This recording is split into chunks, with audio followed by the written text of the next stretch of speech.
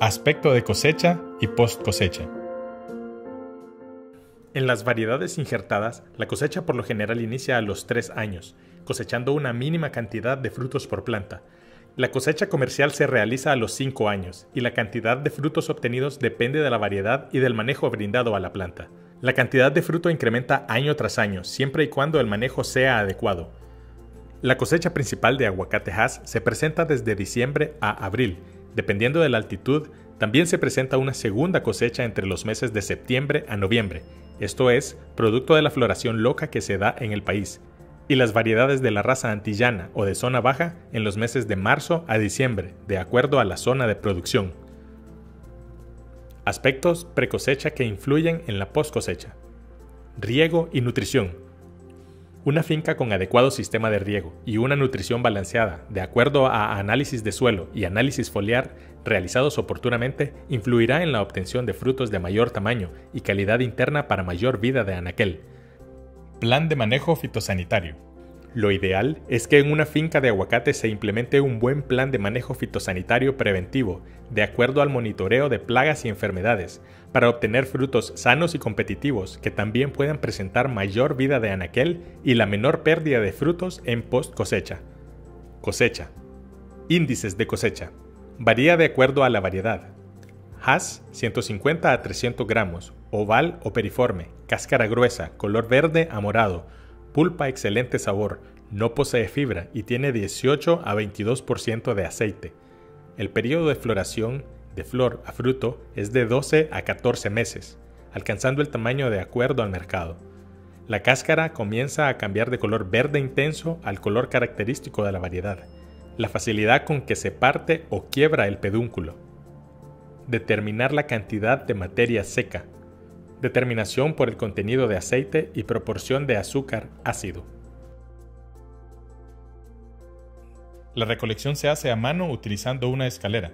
Con un cuchillo o tijera se corta dejando un centímetro de pedúnculo. Esta práctica se hace con el objetivo de evitar que agentes patógenos nos dañen el fruto y también para que el fruto se conserve por más tiempo ya que el aguacate tiene una actividad respiratoria muy intensa después de recolectado, dificultando su almacenamiento por largos periodos. La magnitud de la respiración del fruto depende de las variedades, grado de madurez, condiciones ambientales de la zona y del almacenamiento. Al momento de la cosecha se debe tener los siguientes cuidados. Cosechar frutos que han alcanzado su madurez fisiológica y están en un estado conocido regionalmente como sazón Evitar la exposición de la fruta al sol, ya que al elevar la temperatura interna se disparan los procesos fisiológicos y químicos que aceleran la maduración y degradación del fruto. La fruta no debe sufrir golpes o compresión, ya que se afecta la firmeza de la pulpa. El rozamiento de frutos y otros daños o heridas en la piel del fruto aceleran la pérdida de agua, la respiración y la liberación de etileno. Colocar la fruta en canastas de plástico llenadas a un 80% de su capacidad. La fruta debe llevarse a la empacadora o centro de acopio el mismo día que se cortó. El transporte se debe hacer con cuidado, evitando golpear las cajas. Post cosecha. Después de cosechar la fruta, debe llevarse lo más pronto posible a la empacadora y someterse a preenfriamiento para eliminar el calor de campo, retrasar el proceso de maduración y acondicionar la fruta para el proceso de conservación a bajas temperaturas. El tiempo que debe transcurrir de la cosecha al preenfriamiento no debe sobrepasar las 6 horas, pero si llegase a suceder no se debe permitir que la fruta alcance temperaturas internas superiores a los 26 grados centígrados.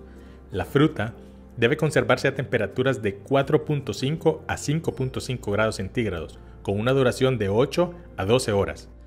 Al momento de ingresar la fruta a la empacadora, se deben acomodar las cajas de tal forma que no se mezclen con otros lotes, tomando los datos necesarios de origen de la fruta, proveedor y variedad, entre otros. Luego se realiza una inspección para verificar que las frutas vayan libres de plagas cuarentenarias, enfermedades y otras plagas de interés se debe revisar la apariencia del fruto tomando en cuenta los siguientes aspectos. Que presente las características de la variedad reportada, libre de golpes y rosaduras, manchas y decoloraciones que afecten la calidad del mismo.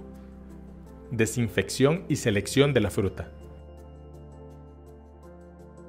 Se debe realizar un lavado con agua acompañado de una solución fungicida como tiabendazol o tecto para prevenir el desarrollo de enfermedades. Esto seguido del secado de la fruta y una ligera cepillada para que adquiera una apariencia brillante. Transporte de la fruta.